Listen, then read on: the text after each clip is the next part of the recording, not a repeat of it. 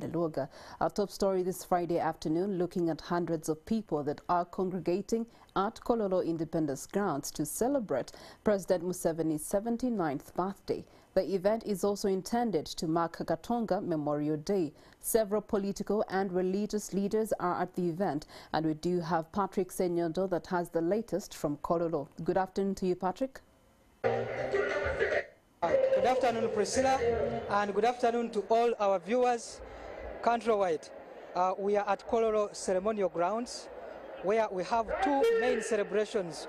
One is the celebration of the 79th birthday of the President of Uganda, His Excellency Yoweri Kaguta Museveni. The second ceremony that is taking place is the Katonga ceremony, ceremonies. We are celebrating Katonga celebrations. Uh, that detail is going to be given to us by somebody who's with me around. But thousands of people have gathered at Kololo from different areas. And so far, the dignitaries around, we have uh, the current Vice President of the Republic of Uganda, Her Excellency Jessica Rupo. We have two former Vice, Vice Presidents of Uganda, uh, His Excellency uh, Edward Kiwanuka Sekandi and Professor Gilbert Bukenya, among other dignitaries that are already around at the ground. So we would like to know from Mr. Uh, Nzeire Shedrack Kaguta uh, what it means when we talk about uh, the celebrations of Katonga. Mr. Nzeire, Yes, sir. introduce yourself to us.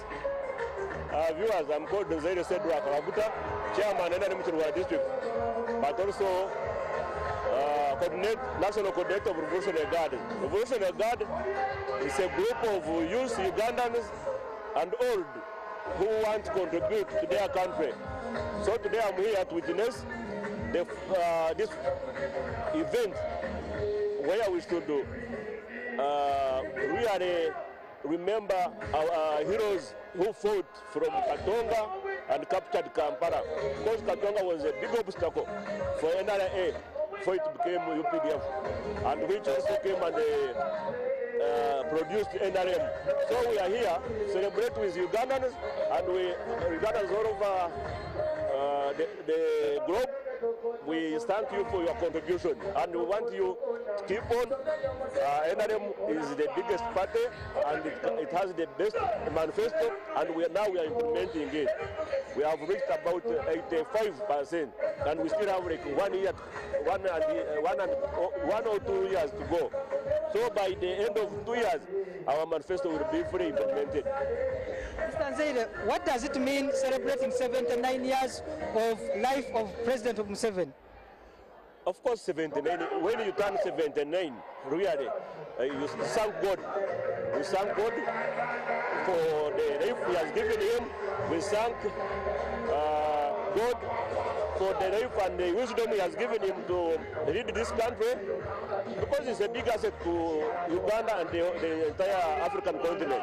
So us as the supporters who believe in him, we still see him we still have a road. We ask God to give him more life and we continue to serve our country and the region. Thank you very much. Why we asking as Revolutionary Guard, we are trying to tell NRM, they have done uh, the four pillars of NRM, patriotism, Pan-Africanism, democracy and social transformation. But we are saying there is a big face that is eating NRM, which is arrogance, which is uh, impunity, which is corruption. Arrogance leads to impunity, impunity leads to corruption. So it's a big face that is eating an NRM achievement. So Revolutionary Guard have come up. We call Ugandans, viewers, join us and fight those uh, vices, bad vices. Thank you. Thank you very much, Mr. Nzeire, the chairman NRM Kiruhura, uh, National the national coordinator. Uh, now, at the moment, the guest of honor is expected anytime to, to, to come around, and we shall be giving you more details in our other subsequent bulletins.